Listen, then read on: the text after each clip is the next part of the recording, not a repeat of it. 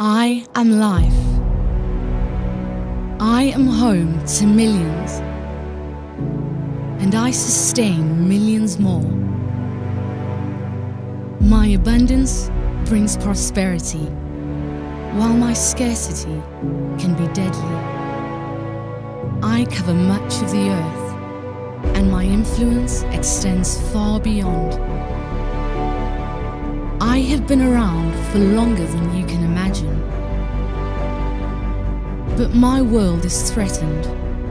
People need to take notice and do more to secure my future. Because I am worth protecting. Your health relies on my health. Your life relies on mine. I am plants. I am life.